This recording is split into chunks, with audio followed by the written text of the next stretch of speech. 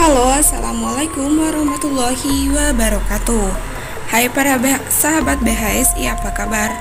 Nah, kali ini Mimin mau ngasih sedikit sinopsis untuk nanti malam tanggal 15 November tahun 2021 Nah, namun sebelum melanjutkan ke pembahasan kali ini, jangan lupa ya untuk tekan tombol subscribe dan nyalakan lonceng notifikasinya. Tujuannya agar kalian tidak ketinggalan dengan kabar terupdate dan terbaru dari channel ini. Terima kasih. Scene dimulai dari Dewa yang di mana Dewa ini merasa cemburu terhadap Nana dan juga Fajar karena di sini Nana tiba-tiba datang ke makam makam anaknya Fajar. Nah, di sini Nana yang datang ke makam anaknya Fajar dan membawa Junior. Kemudian Nana pun memberikan sebuah surat yang di mana di surat tersebut dek Fajar ini mewariskan semua hartanya kepada Nana dan juga Junior. Fajar pun menerima surat itu dan hanya diam saja. Nah, setelah memberikan surat tersebut, Nana pun Nana dan juga Junior pun akan meninggalkan Fajar. Namun sayangnya, Nana hampir saja terjatuh sehingga Fajar pun sigap untuk mem membantu Nana agar tidak terjatuh ya guys.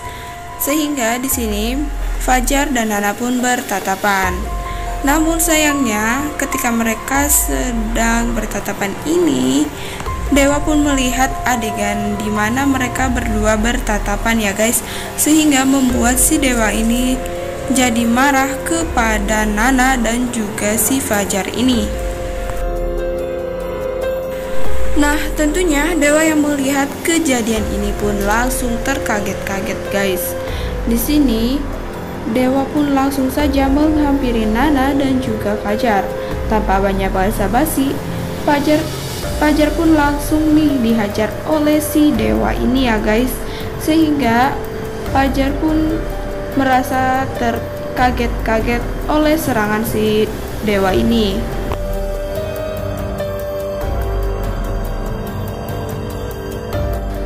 Tentunya di sini Nana pun langsung saja menghentikan keduanya dan Nana pun berusaha menjelaskan semuanya kepada Dewa.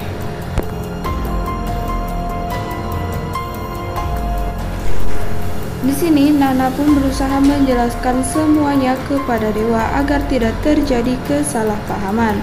Begitu juga dengan Fajar, Fajar pun menjelaskan jika ia dan Nana tidak ada hubungan apa-apa.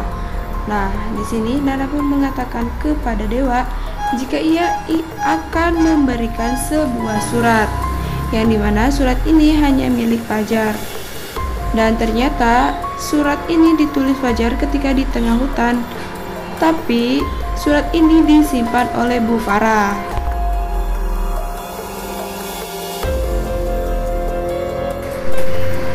Namun, meskipun mereka berdua sudah menjelaskan tentang kejadian yang sebenarnya, di sini nyatanya si dewa ini tidak percaya atas perkataannya si Nana.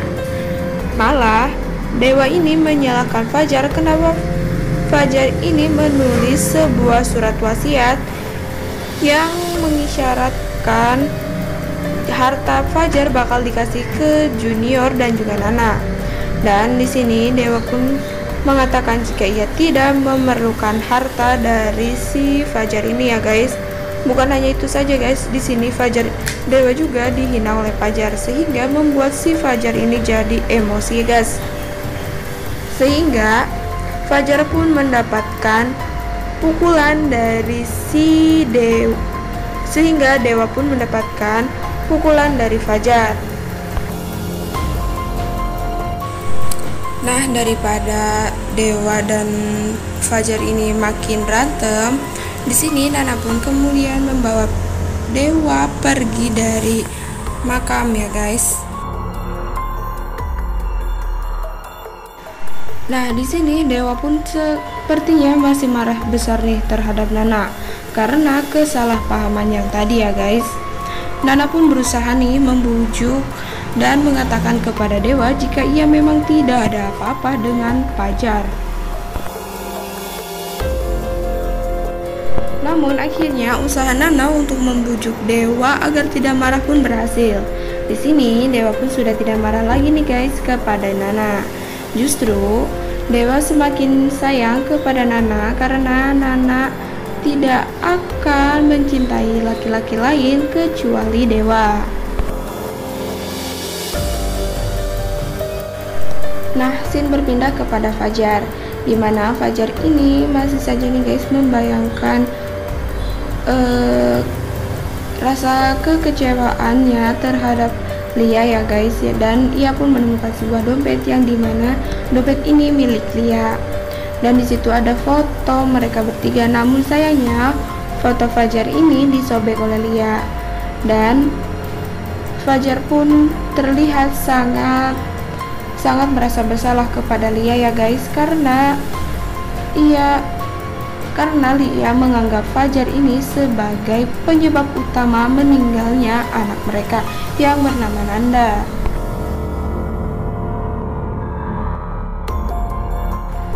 Nah, di sisi lain juga, Cornelia yang menyimpan amarah pun masih saja memikirkan tentang Fajar ya guys. Di sini, namun Lia ini merasa sangat kecewa terhadap Fajar karena dulunya ia tidak dibolehin untuk nyanyi. Dan dengan penuh amarah juga Lia pun berjalan sehingga Lia tidak mengetahui jika di depan ada preman yang sudah menghadang Lia guys.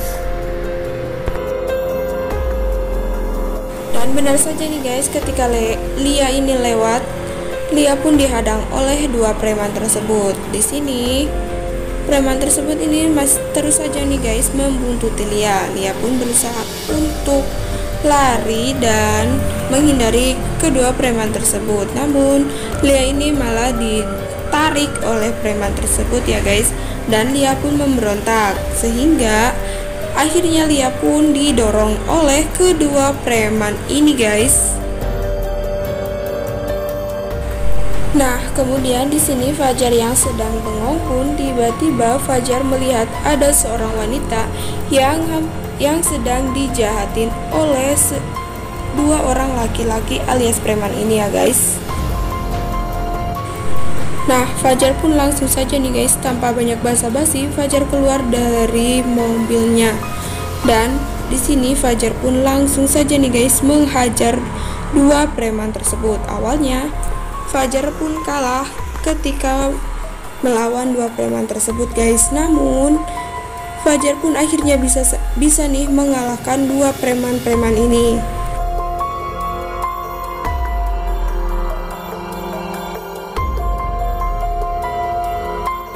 Nah, dan betapa terkejutnya Fajar dan Fajar ini ketika melihat wanita yang ia tolong adalah Cornelia alias Koko.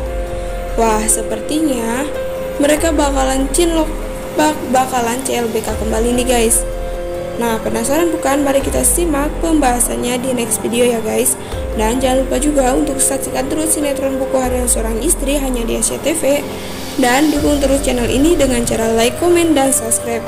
Dan cukup sekian terima kasih. Wassalamualaikum warahmatullahi wabarakatuh